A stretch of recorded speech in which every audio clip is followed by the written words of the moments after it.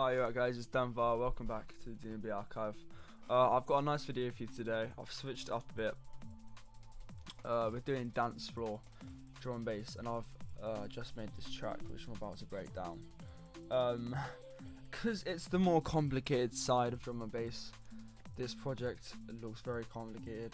And don't get me wrong, I'm not gonna like chat about it, I think it, I mean it kind of goes into depth, but that's cool, we'll like show you how I've done everything. Um, sorry I've been slacking on the videos recently. Uh, next video is gonna be very good for starters, so watch out for that. Um, but yeah, let's get into it. Right, I'll play this track out for you first. I'll play the intro and the drop. Um, and yeah, let me, I'll stop shouting and uh, start.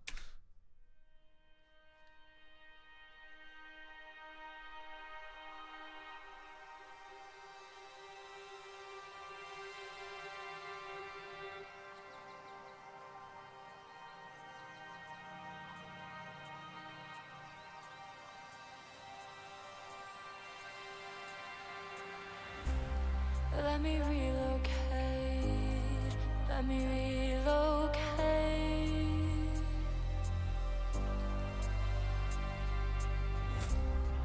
Let me see the sun. See what I've become. Let me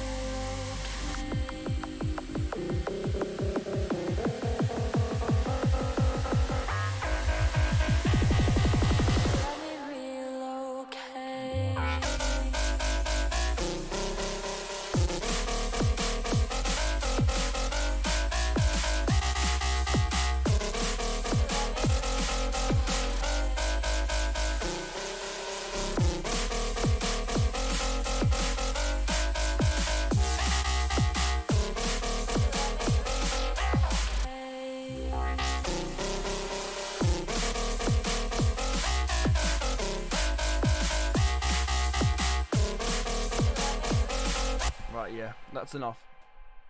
So, I'm gonna start at the beginning and work my way through. Um, because that always seems to be the easiest route of things. So I have this vocal here from the amazing Lily Clark. Uh, go follow her on Instagram. Um, so I have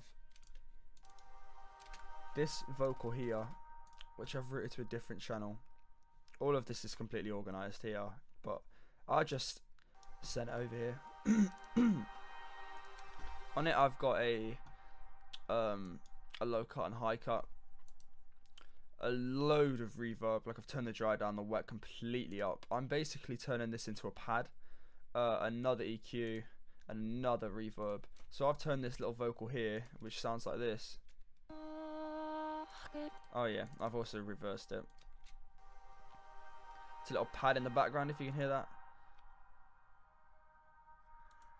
Cool. I also have two ambiances, which I'm pretty sure are just from Splice. Um, but don't tell anyone that. This is what they sound like.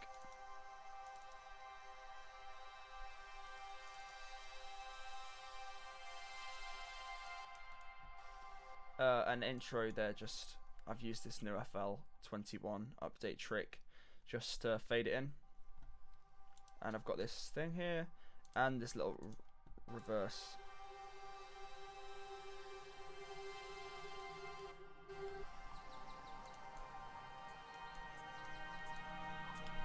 Which I'm also going to add down here. So I have also these hats that are starting to be brought in that I've uh, automated the volume on just so, it doesn't sound really harsh. This is just a normal hat.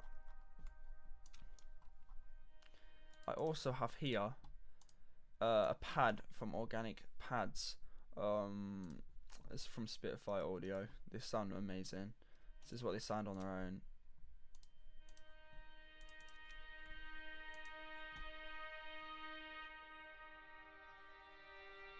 That's just the preset I've chosen maybe there's another better one, but there's so many good presets.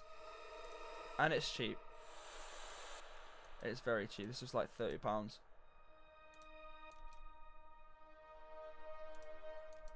So I definitely recommend checking it out for stuff like this. It's really good.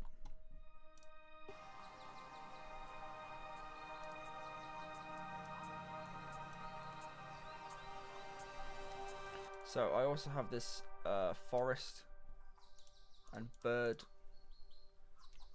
thing sound in the back, which I think sounds really cool. I'm actually gonna add it here. Sorry, I'm kind of mixing, changing things I'm going along. Uh, and then I have this city ambience as well, which is literally just a city. Um, these kind of things just add a lot of texture to the song, uh, and make it sound more professional. Because making a song sound more professional is kind of having your own, like, saturated kind of analog, like serum kind of sound things, uh, with drums and adding a lot of like almost like nature n- nature sounds. I know it sounds ridiculous and I've explained that so badly, but it's having organic stuff that sounds clean and professional mixed in with all the electronic stuff. That is what makes a song sound really professional. Obviously, there's other things as well, but that is a big part of it. Just having all this stuff just really adds a lot of stuff together. Have this ambience here. Again, it's probably just from Splice. Some simple processing, honestly, just a low cut and reverb. Just been lazy with that, proper lazy. I'm gonna take that a bit more actually. What I've been doing is basically cutting the fundamental out of all these ambient things. Because some would perhaps clash, even if they're in the same key. Um, and it just makes it sound more ambient and pad-like. I then bring in this piano here, um, which is this free one from Labs actually, the Autograph Grand. I would definitely recommend uh, getting this. I use it for pretty much every track I make. Um, I have one other Kontakt one that I use um, every so often, but honestly, this one sounds just as nice. Play it on its own. Turn this automation on.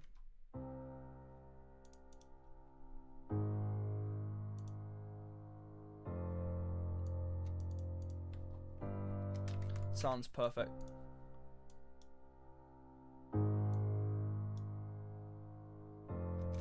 You can uh, do a lot with the velocity as well. Sounds nice down here.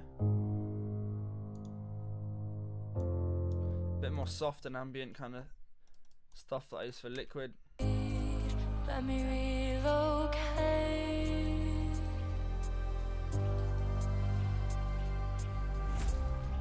Let me see the sun, see what I've become. I'm gonna actually put a low cut on this piano as well. I am definitely changing things as I go along. Let me relocate. That'll do just because I also have brought in a respace. This one, yeah. Let me Just sounds like this. Nothing special. It's the respace I always use. I've just turned down the distortion a ton and uh, pulled the cutoff back. And that just adds a lot of depth.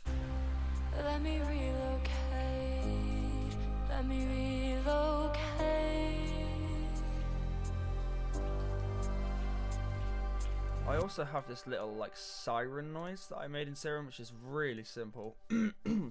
this is one to keep in mind because it's always something you can do in a track like this. So it sounds like. Basically just a saw wave. No detuning or anything. I've just put the slide all the way up. Um, then when we come to mix, I've got this EQ. Yeah, I know. It's quite harsh. Uh, a lot of reverb and another Pro R reverb, which does a really good job. That slide effect all comes from making sure this port is a little bit quite high up. And that just sits in the background and sounds really cool. Let me see the sun, see what I've become. Let me. I also show you what processing I have on the vocals. Uh, Let me relocate. let me put turn this automation back on. Let me relocate. Let me relocate. I have this low cut here, Let me relocate. is quite loose because I want to kind of just tame the sound instead of just like ridiculously cut out and make it sound really thin. Have this another EQ here to boost some of Let the me. frequencies we want in the F section to really bring out the vocal in this loud, annoying mix. I have some uh, auto tune that we don't really need to be honest, but just put it there just in case. I have this RVox here, which is a compressor. It does a really good job. It's very simple. So if you don't really know your compression, I would definitely recommend using this. Um, this basically just monitors the compression amount. Let me relocate. This is the makeup gain, so you can turn this down after it kind of boosts the gain from here, and you can make a gate as well, which I don't really use, um, especially with vocals like this because it doesn't really need it. This cuts out any noise you don't want, Let me relocate. which is just below this point. I may as well put one on. Let me relocate. Any noise below this will be completely cut out.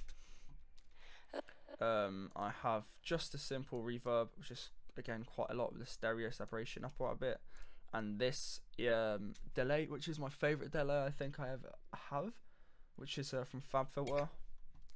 Let me relocate. Let me relocate. That sounds really cool. I love the sound of that delay. Um, but yeah, we're getting close to the drop. Let me see the sun. See what I've become. Let me relocate. So I have. I'll get into the sound design for the bass in a second. I have a few risers here.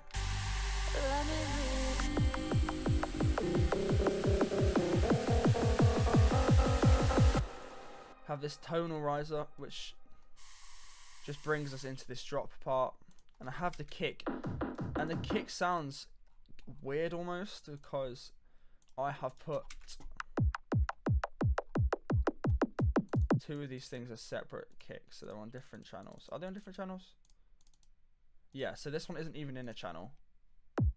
So that's the normal kick. Then this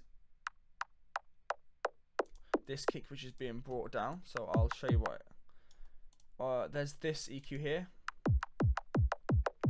That's been automated to do this. Just bringing out the low cut and this is with these frequencies here. Um, I only recently learned this trick actually.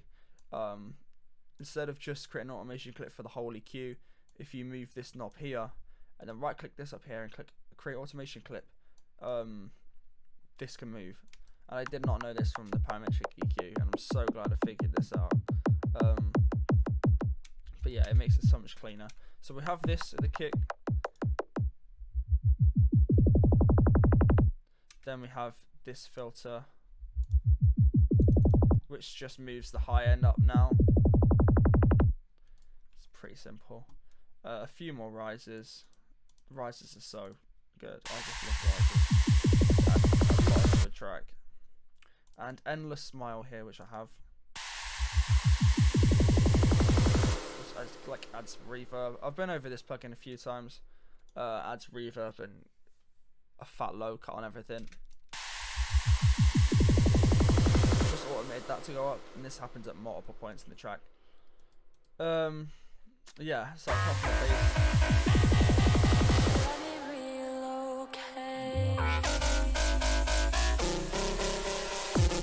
But yeah, let me um get into the bass. So now we've got the drop, which I'll play you again quickly. Let me relocate.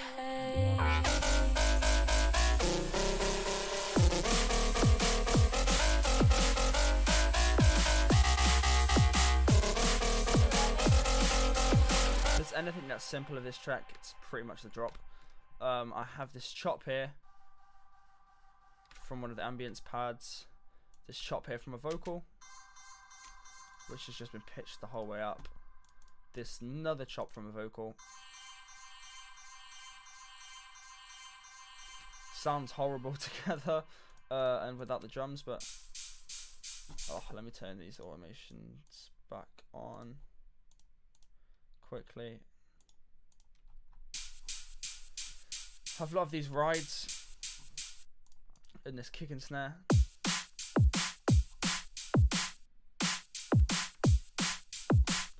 Show you what processing goes through the kick. Kick, I'm just got a high cut on it.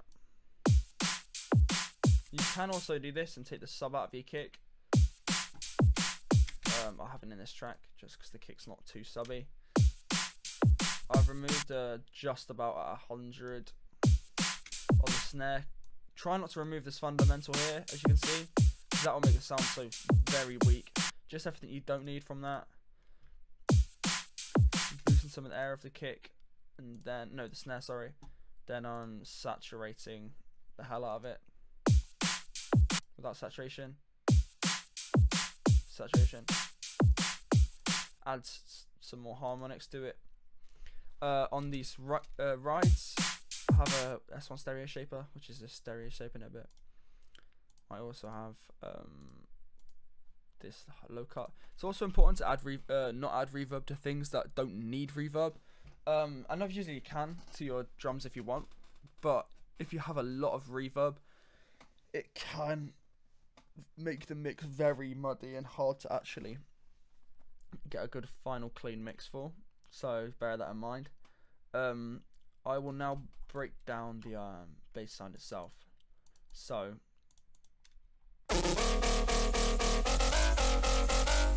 I have this pattern first of all, which isn't that complicated. I've got them in like I think it's in triplets. What's it in?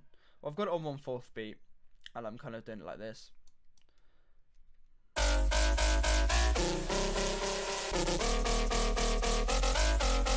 Uh, it's important to play around with these parts as well, like half time and or whatever, to make it kind of more bouncy. What you also have to bear in mind is you have to make it memorable because if it's not, it's just going to sound like a mess. So in this, I've got this kind of same pattern, which is just this, been brought down an octave to vary it a bit. This is the first variation.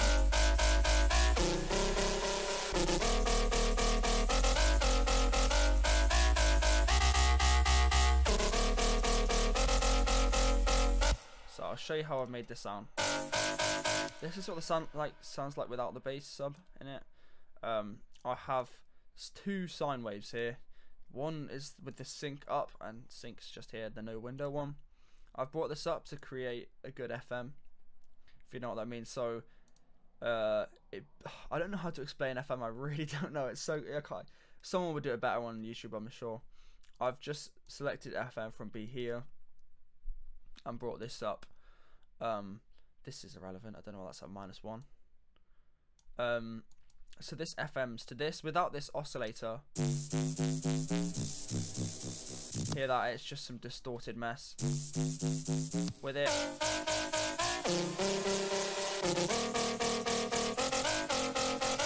And this is just FM from being from this, and the sync is up. If the sync wasn't up, it's 2.47. If the sync wasn't up, it's like this.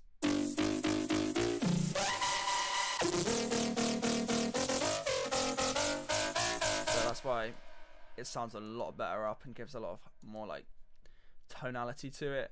I've also put this up two octaves and got seven semitones. Um, got this filter which is automated from this LFO, which also automates the volume of both the oscillators and the sub and the noise. Sub is kind of irrelevant in this situation because I've whacked a fat low cut in there. I'll show you later, but don't really need the sub in it. It just adds some fatness. Um, this LFO here on this cut. Can adjust this however you want.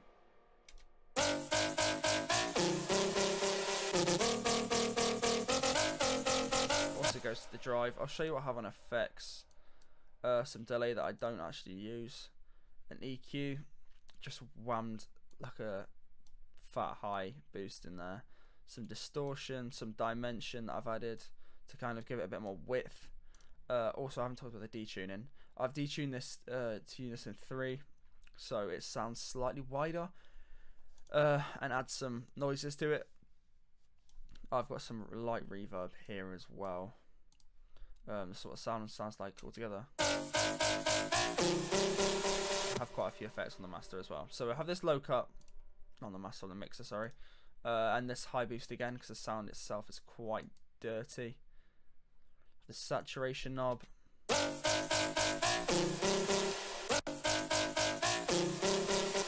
Difference the saturation knob makes. I love using it. Uh, have this distortion here.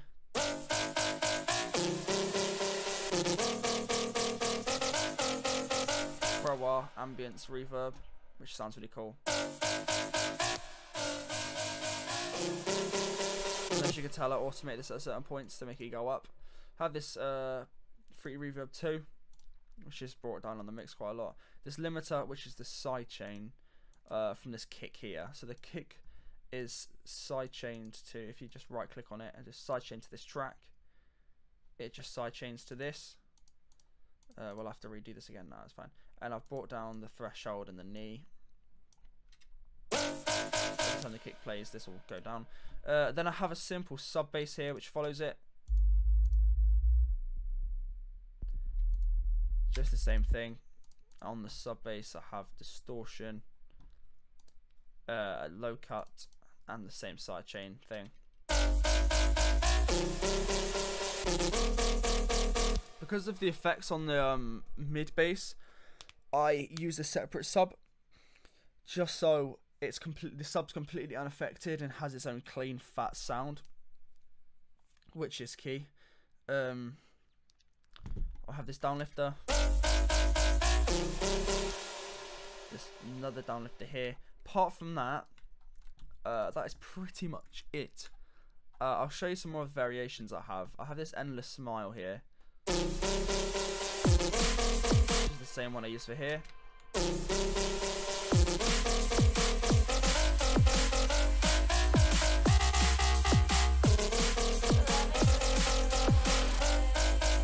Have this part here it goes. This again is. Which one's being automated? Oh, one. So, like this trick I used earlier with the EQ, I'm using it for the the basses as well.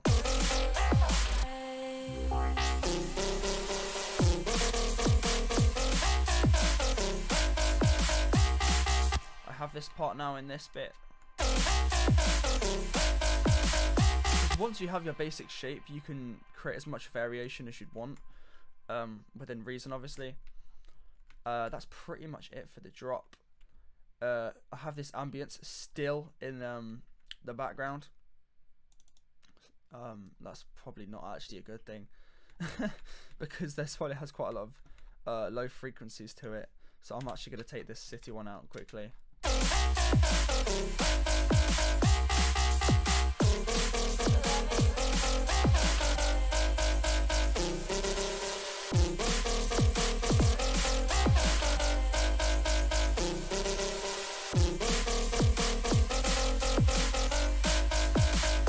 Um, for this bridge section, Let me see the sun. I have not yet created any variation apart from this drone here, which sounds like this. See the sun. This filter cutoff off cutoff's irrelevant. That was just something I added earlier and got rid of. Uh, I have this Pro R here, which uh, is the one on the, the automation for the bass. So it starts like this.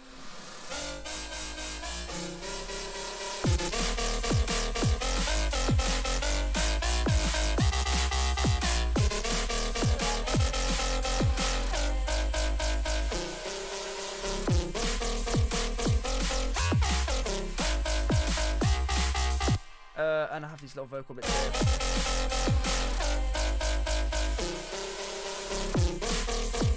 But yeah, that's pretty much all of it. I'll show you my master channel quickly, which has changed slightly from last time. Have an OTT, times at 100%, uh, depth at 16, because I'm not actually compressing this very much, because um, I've had this OTT on from the start, and I've kind of just crafted it through it.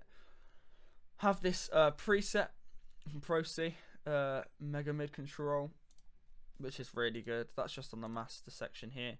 I shoved this on pretty much everything. Pro R, which is just used for automation, so it's not on the whole thing. The Endless Smile thing I showed you already. Soothe 2, which if you can get your hands on, definitely do it. I've just whacked this on here, no presets whatsoever. This just controls the um the peaks that need to be controlled. I'll show you what it does.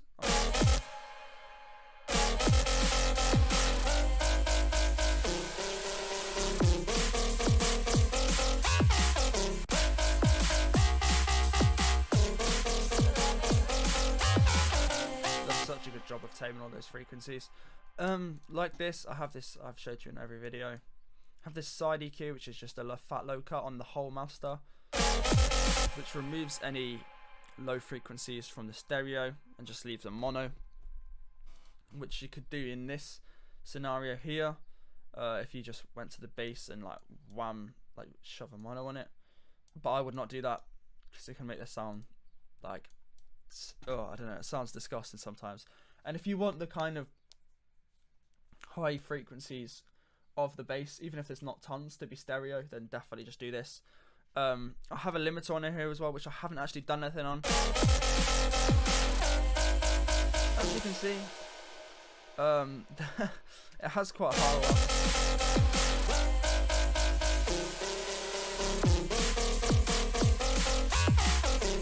and this is like minus 12 which doesn't I would say obviously keep an eye on the LUFS but if you're happy with a mix don't rely on it too much because obviously people try to get it to minus 14 all the time.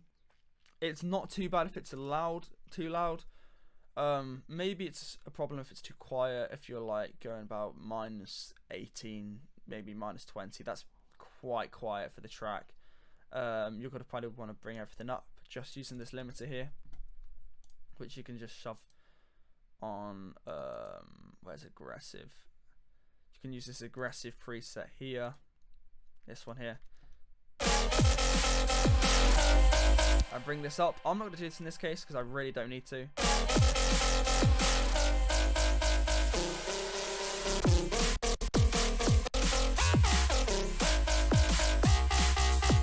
Making sure you have no peaks like this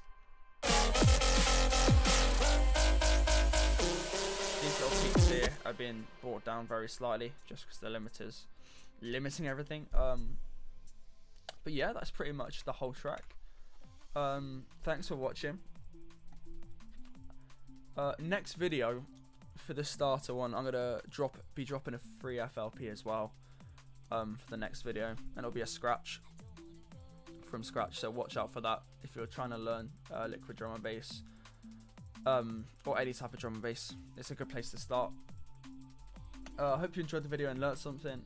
Um, still dropping the sample pack soon.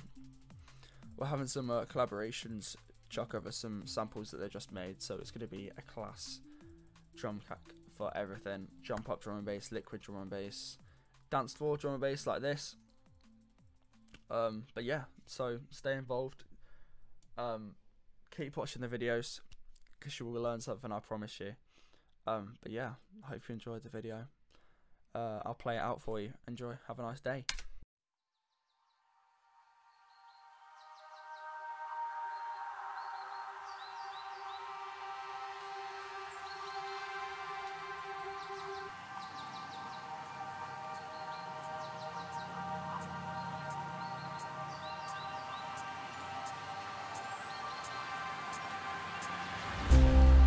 Let me relocate.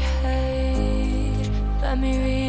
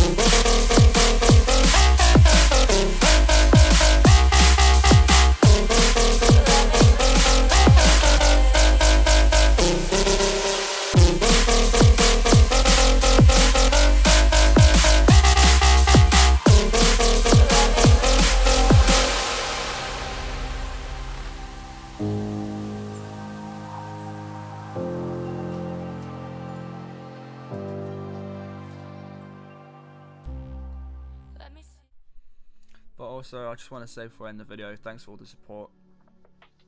Um, and to this comment, I'll be now be changing it to the ash skin from the default. We have officially moved. Um, yeah, hope you enjoyed. Goodbye.